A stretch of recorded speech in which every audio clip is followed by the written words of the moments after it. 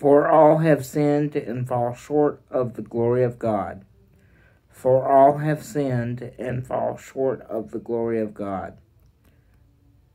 Like, comment, subscribe, and always remember that Philippians 4:13 says, "I can do all things through Christ who strengthens me." And if you have any prayer requests, also get a hold of me and I will pray for you.